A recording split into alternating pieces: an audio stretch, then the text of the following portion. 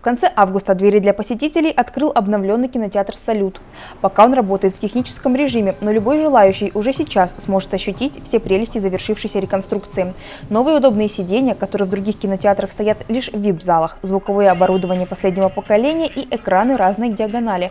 Все это доступно по крайне демократичному ценнику. Обеспечивает уникальное звучание. Благодаря Dolby Atmos звук может предельно точно перемещаться в любую точку кинотеатра. Самый большой зал вмещает 266 человек, а маленький 30. При этом цены в любой из них одинаковы, дело лишь в ваших предпочтениях.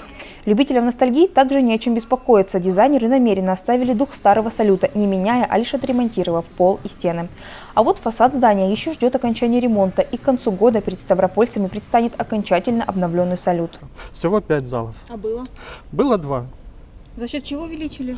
Э, За счет оптимизации пространства в здании, которое уже было, да, то есть мы посмотрели и чтобы эффективно использовать, увидели это место. Однако не все верили в положительный исход дела. Когда горожане узнали о предстоящем ремонте любимого кинотеатра нескольких поколений, поднялась волна недовольств. Появившиеся слухи о его уничтожении подтолкнули неравнодушных общественников создать петицию с требованием отмены реконструкции.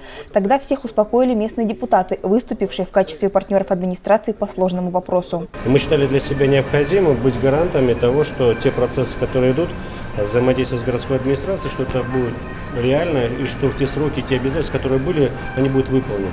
И когда, да, в соцсетях э, была эта как бы полемика, вот, мы были гарантами, мы приехали, убедились в том, что да, действительно здесь реконструируется кинотеатр, вот именно под кинотеатр.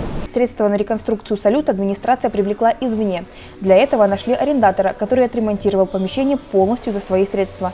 Теперь здание находится в долгосрочной аренде на специальных условиях. А всеми любимый кинотеатр так и остался муниципальной собственностью, позволив городу максимально выиграть от этой сделки. На сегодняшний день э, Ставрополь э, уже на федеральном уровне, вот глава города э, в Совете Федерации Российской Федерации докладывал о сотрудничестве, которое налажено в городе с бизнесом. То есть, когда бизнес социально ориентирован, когда бизнес помогает строить социальные объекты, то тогда в городе, наверное, все правильно. Несмотря на то, что кинотеатр уже вовсю работает, официальное открытие ждет его 26 августа. Горожан ждут конкурсы, главный приз – годовой абонемент, концерт певицы Эльвиры Т. и праздничный салют, подобно огню Феникса, означающий новую и долгую жизнь одного из любимых символов города. Елена Федорова, Александр Конорев, Блокнот, Ставрополь.